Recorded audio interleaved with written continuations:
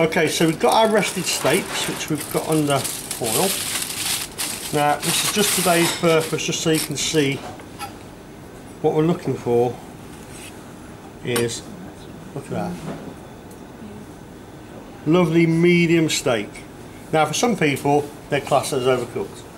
Right, I myself, I like it slightly rarer, but to me, that's a lovely medium steak. So, all I'm going to do is pop that on there like that. I'm then going to get a piece of compound butter and lay that on top. Now, I'm going to take my melted compound butter, which has been in my pan, Yes. and that laid on top.